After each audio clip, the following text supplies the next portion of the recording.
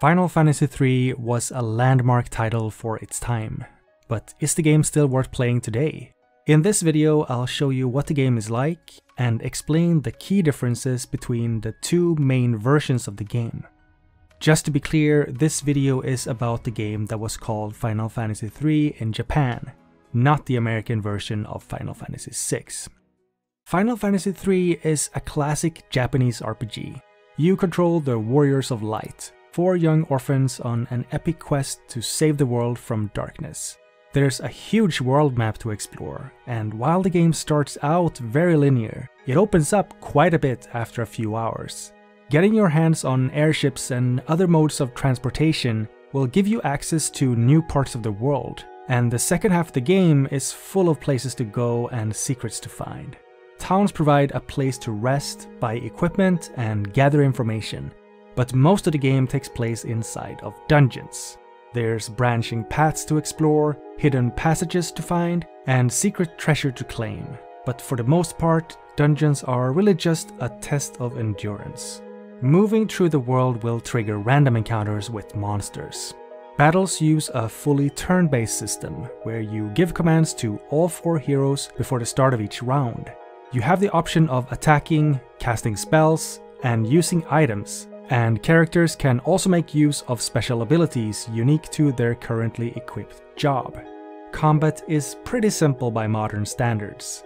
Instead, the main draw of the game is the job system.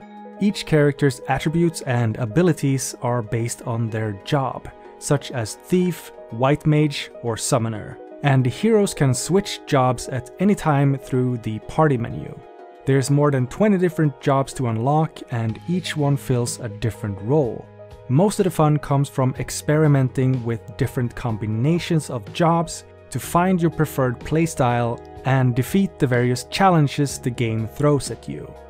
Final Fantasy III's story is a mostly straightforward quest of good versus evil.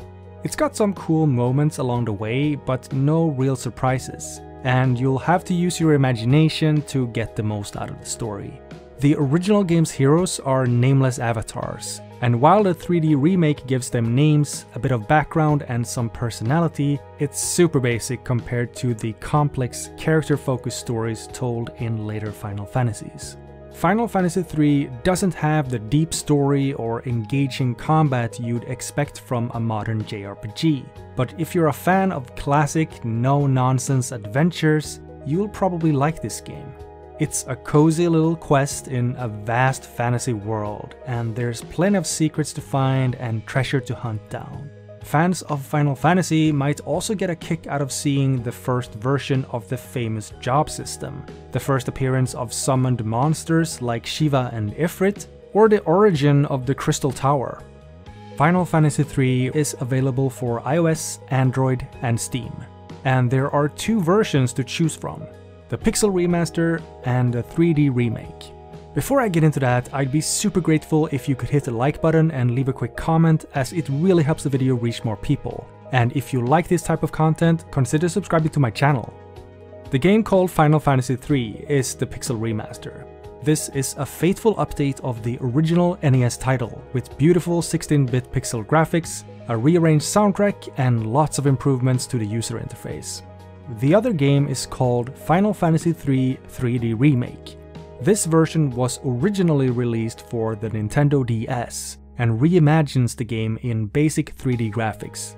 The 3D remake gives the heroes names and personalities, and expands the story with added dialogue and cutscenes.